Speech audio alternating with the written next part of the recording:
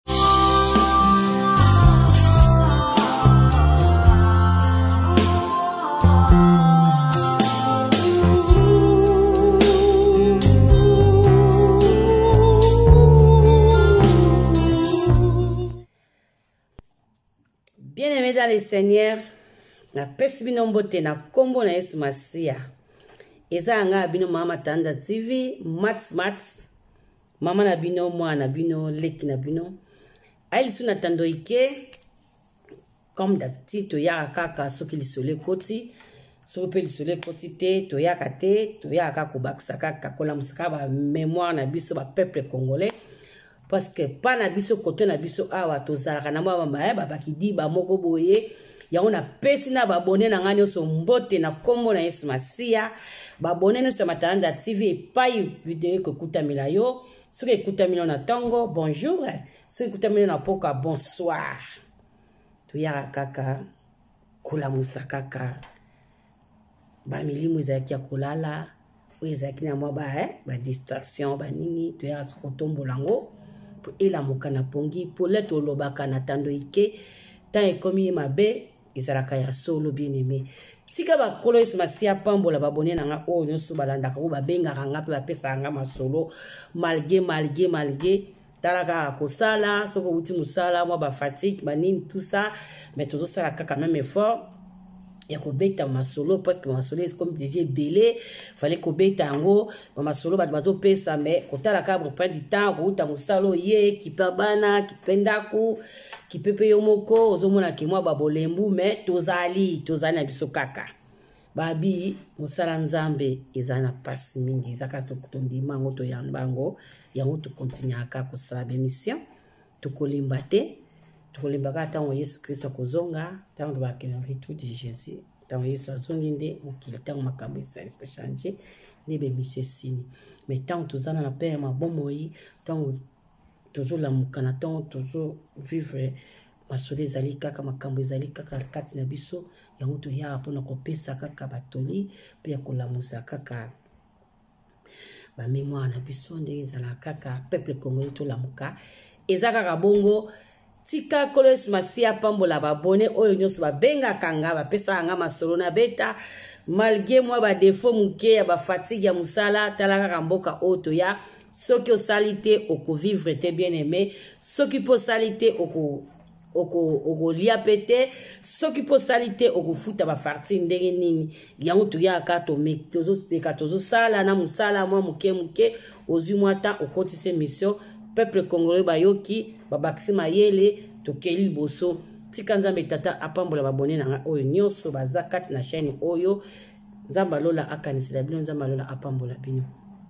napesi bambote na ngai na babone na ngai nyonso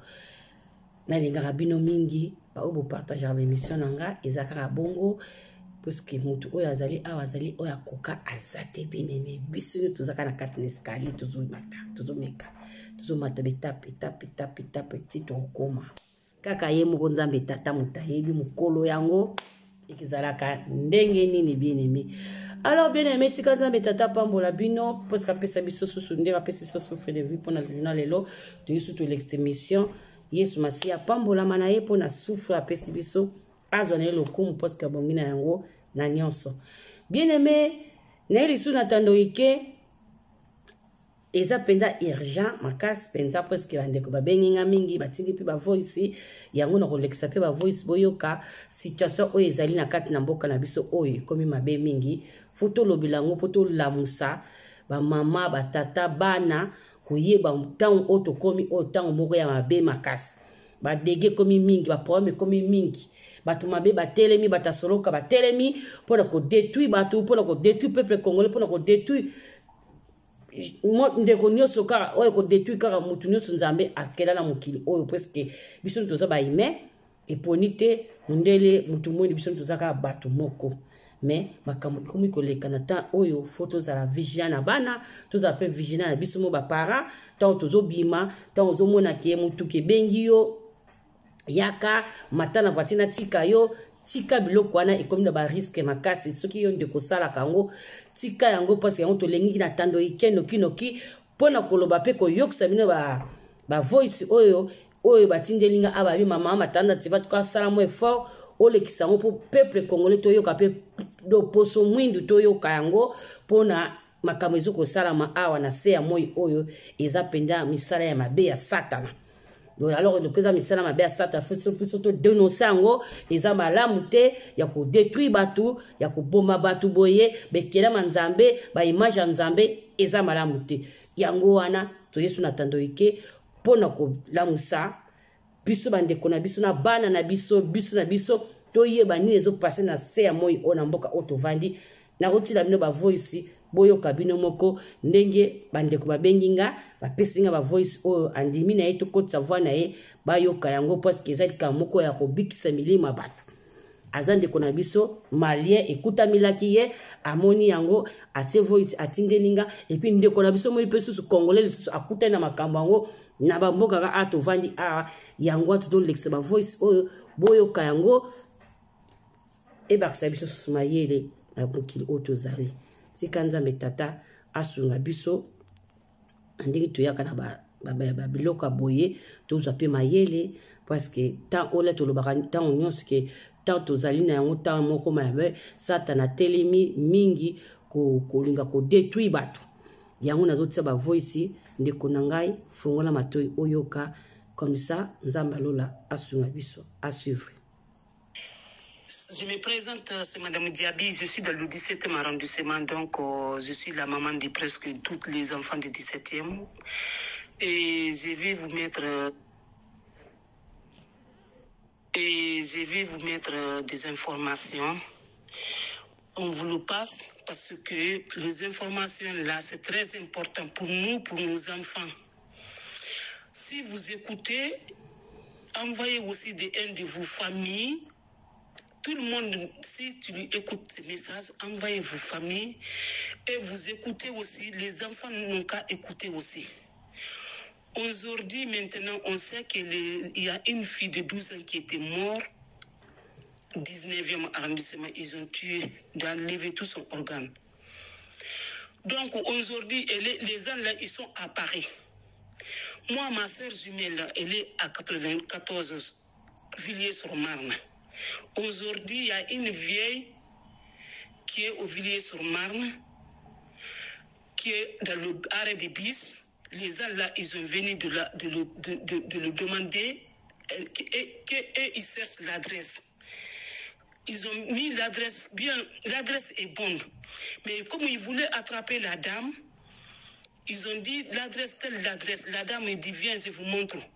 Heureusement, c'est un clochard qui a sauvé la dame aujourd'hui.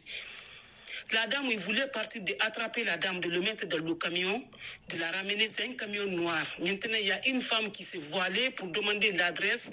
Dès que la femme là, il va partir, les hommes, ils vont le suivre, la dame, ils vont l'attraper. T'as le main et le pied et la bouche.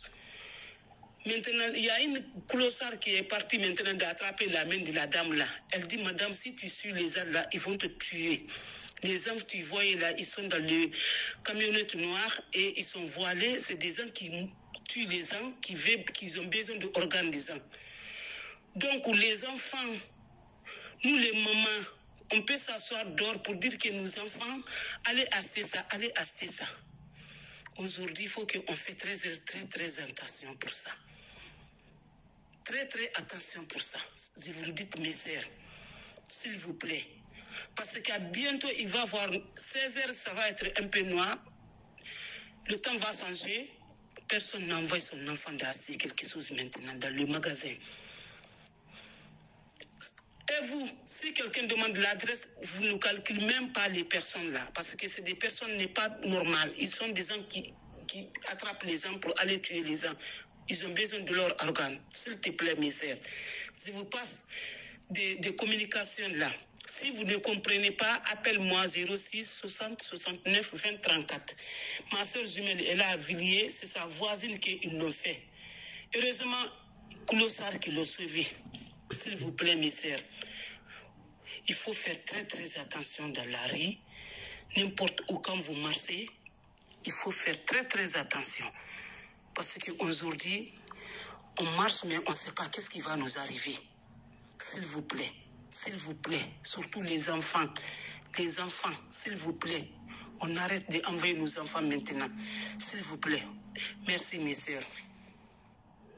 Voilà, voilà, voilà, voilà. bandeko na ngai boyoki voice ndeko mwasi atindi kotindela biso awa mpo tolekisa bemission oyo kutu azali ndeko na biso ya sénégalais malien akutani na makambo oyo nde atindi mpe susu voice me eza mpe na ndeko na biso mpe susu congolais lisusu oyo ndeko na biso alobi esalami na paris 12e basystème oyo toyoki keo mwana oyo batiaki soki na bakiesi soki babomaki soki ndenge nini mai bato yango bazotambola bato yango bazotambola na se ya moi na kati ya bavoitire komema bato ozokende wapi ozokende gara mema yo nzokani aza moto ya mabe moto ya mabe ya kosakana te oyo ezali kutu ndeko na biso malien oyo senegal tobengaka senegal akutani na makambo oyo yango wana ndeko na ye moto abikisi ye kutu clochard clochard moto abikisi ndeko mwana ndeko wana sino te elingaka ozala mabe mingi me nazotia susu voice mosusu mpo omonake makambo yango eza mpenza ezokosalama na kati na mboka oyo paris faut faire attention na bana faut faire attention na biso mo mpe mikolo oyo bato oyo bazalaka ke namema yo natika yo na gare madame okei wapi mesi okei wapi namema yo natika yo na gare ekomi badanger badanger public bien aime sika oyo natiaki ya malien ndeko na biso sénégalais mais oyo lisusu nazotia ya ndeko na biso congolais akutani nango awa na comme na ville ye mpe lisusu akutani na situation yango volisi yango bandeko bolanda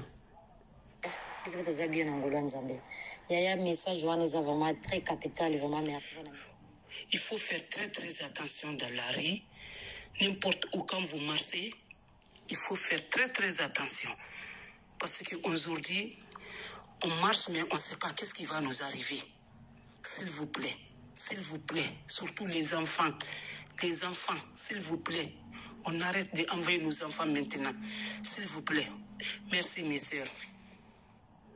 Voilà, voilà, voilà, voilà. bandeko na ngai boyoki voice ndeko mwasi atindi kotindela biso awa mpo tolekisa bemission oyo kutu azali ndeko na biso ya sénégalais malien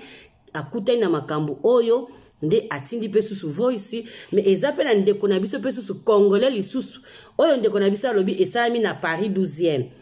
basystème oyo toyoki ke o mwana oyo batiaki soki na bakiesi soki babomaki soki ndenge nini mai bato yango bazotambola bato yango bazotambola na se ya moi na kati ya bavoitire komema bato ozokende wapi ozokende gare amema yo nzokani aza moto ya mabe moto ya mabe ya kosakana te oyo ezali kutu ndeko na biso malien oyo sene oyo tobengaka sénégalais akutani na makambo oyo yango wana ndeko na ye moto abikisi ye kutu clochard clochard moto abikisi ndeko mwana ndeko wana sino te elingaka ozala mabe mingi mais nazotia susu voice mosusu mpo omonake makambo yango eza mpenza ezokosalama na kati na mboka oyo paris faut faire attention na bana faut faire attention na biso mo mpe mikolo oyo bato oyo bazalaka ke namema yo natika yo na gare madame okei wapi monsieur okei wapi namema yo natika yo na gare ekomi badanger badanger public bien aimé sika oyo natiaki ya malien ndeko na biso sénégalais mais oyo lisusu nazotia ya ndeko na biso congolais akutani nango awa na comme na ville ye mpe lisusu akutani na situation yango volisi yango bandeko bolanda biso mpe toza bien na ngolo ya nzambe yaya message wana eza vraiment très capital vraiment merci mpona message ya solo vraiment mokili eko mabe nga moko kaka nde naza nazobima nazoya na gare na biso naoya na nganga malemi malemi makolo voiture moko ezolanda nga mondele mpenza alandi ngai azosala batour alandi ngai o akompagne nga na gare nga nabi okompagne nga na gare nga motu gare na biso yango nakomi deja na gare oh kasi ozokende wapi ngabi non mais ça vous intéresse pas moi je pars à la gare c'est tout la gare il est à côté oh non parce que soki oza na quelque part okende na memona ke tiko ngabi non mais c'est kaka sikoyo yaya ntango nalobi ne non monsieur nakoti na kati ya gare nde naye komona message na yo oyo ya solo yaya mokili ekoma be bamindelo tozomona na bavoiture ya babien parfume tout ça la bazoluka kaka nde mpo baboma bato baboma nde bato baboma bato yaya vraiment merci merci mpona message nga mpe nazopartage yango parce que nauta mona yango mondele azolanda ngai banda nautaki kota ndako alandi nga ti na garie na voiture namataka na voiture nde naboyi et pourtant chance nga namataka bavoiture ya bato te oma nzambe na biso azo lokumu donc eza vraiment message kua nzambe atindaki otindela nga parce que donc bien aimé nakanisi biso moko tolandi bavoice bavolisi ekoti ebele oyo bato ndeko na biso mpe susu congolais akutani na makambo oyo congolaise akutani na oka na awa na bagare ya ba rd awa na bacome la ville oyo mpe mosusu nakotisaki wana ezali susu malien mpe so asali vosi na atindi oyo ekutamili mpe na ye na ndeko na ye moto abikisi ye kutu clochard bato tomona kaka clocha clocha moto abikisaki akota na motuka wana te bazokoboma bato bazozwa baorgane ya bato bandeko bien ebe il faut faire attention ntango oza na bana meme yo moko mpe mokolo kolinga kosengaka o oh, bamema o oh, omoni motuka moko etelemi madame okei wapi mesi okei wapi namemona ga batela babi tobatela kimia bien aime moma tokomi na yango moma moko ya mpasi ya baproblème ya makambo ebele ebele donc tozala mpenza vigilant peuple congolais na basituation ezoleka na se ya moi oyo epuis fo kobondela nzambe alola nkolo yesu masiya alongisa biso na bitumba oyo diable atelemi yango oyo baesprit oyo etelemi awa ya kobomaka bato na makasi ya kosalaka bato mabe ya kolongola baorgane ya bato mpo na koteka mpo na kozwa mbongo nyonso eza mpo na lokoso ya mbongo tika nzambe tata apambola babone oyo bakolanda video oyo bopartage yango monde atie bien aimé partage yango eza basituation moko ezolikana se ya moi awa eza ya pasi bandeko bakutani na yango yo okuta na yango te omoni ke bandeko na biso bakutani na mibale na ndeko na biso mpe congolais na ndeko na biso mosusu marie akutani na yango andimi nabimisa natia voice yo bavoi na ye atiki kuna nimero na ye abangi na ye te mpo aza na mposa ya baami na biso te basala yango mabe biso bato mwindu yango andimi mpenza abi limero na ngai yango wana nakasi bino nyonso boyoki oyo ya kotia tembe oyo ya kotia badutu lokola biso bakongoli tozala baproblème ebele ebele limero ya ndeko yango wana kuna bobenga bozwa confirmation parce que auti kotindela ngai nasala émission yango nakotisi yango na matalanda ya tv vite vite vite mpo na kopartage likambo oyo tozala viginame na bana ata bana bakei ntala lokola tozokɔta na hiver molili ezokɔta ntango molili ezokota mwana akei classe yebisa mwana toki bana oyo bakendaka bango moko teya mwana benda mwana matoi fait attention meme copine meme camarade to copain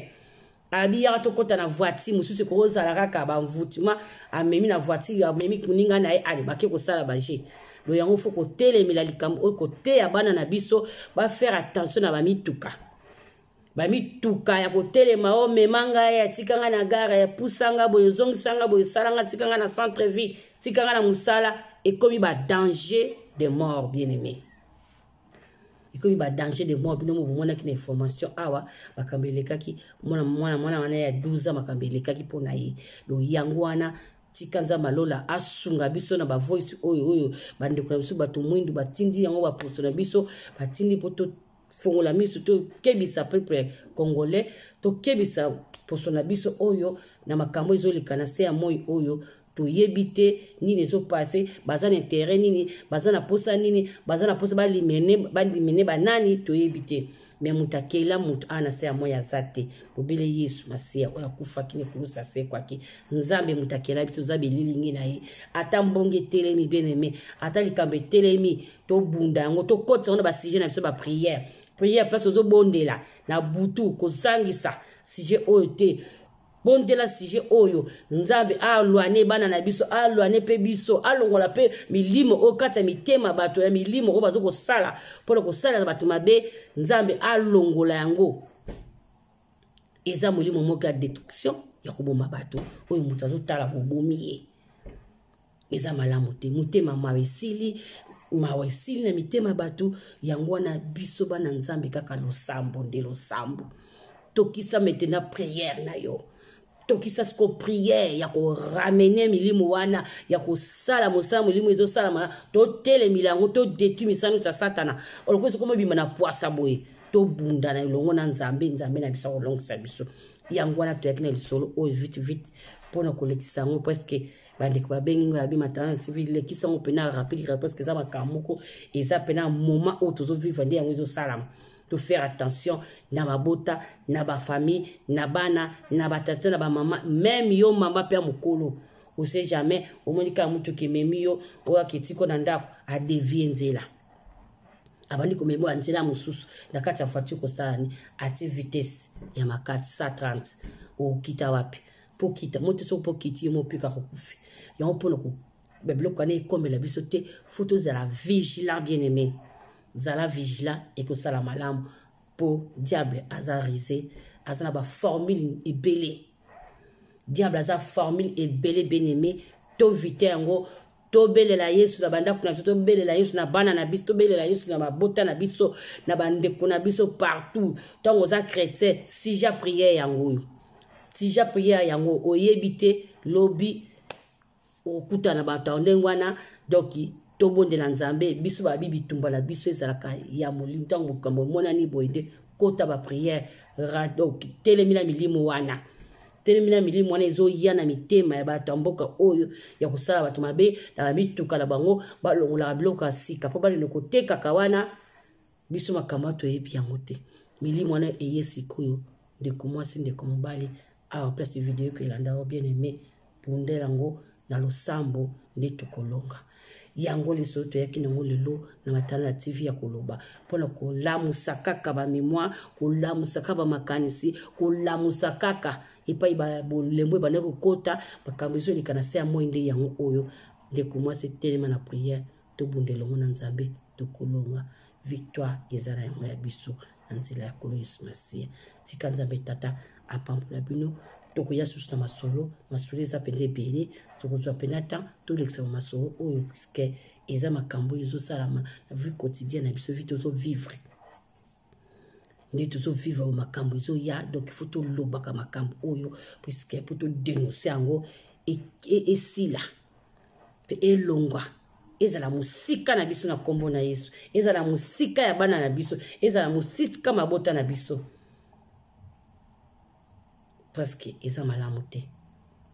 moto akela bato eza nzambe moto mote na se ya moi akela moto mindele bakoka kosala pema te basala bana pope basala bastati ba basala bamaneke ba basala nyonso bakoki kosala me mpo basala moto bakoka te mpo moto oyo aza elilingi ya nzambe molimo oyo ezaka mpa moto mpo moto aloba esala makambo nyonso befe eza kaka makasi eutaka mpa nzambe mpe ngoi euti kaka mpa ya nzambe ye mei tata na biso yango wana bakoki kosala eloko moko te absence oyo ezali présence ya nzambe oyo apesaka mayele bakoki kosala te bakosala nyonso nyonso bakosala me mpo bakela moto nde nzambe akela ezali mpasi tika nzambe tata apambola babone oyo bakolanda video oyo bopartage yango bien aimé eza basituation tozokutana oyo ezali kosalama maintenant na mboka oyo tovandi mpo na kokebisa biso mpe ya kopesa attention na mabota tika nzambe na lola apambola bino soki lisolo mosusu ezali tokobeta lisusu mpo na kozwa mayele mpe ya kozala vigilant na makambo ezoleka na kati na mboka oyo nzambe alola apambola bino so yesu masiya ye te toyaka na lisolo lisolo ebendaka lisolo tika nzambe alola apambola bino na nkombo na yesu kristo amen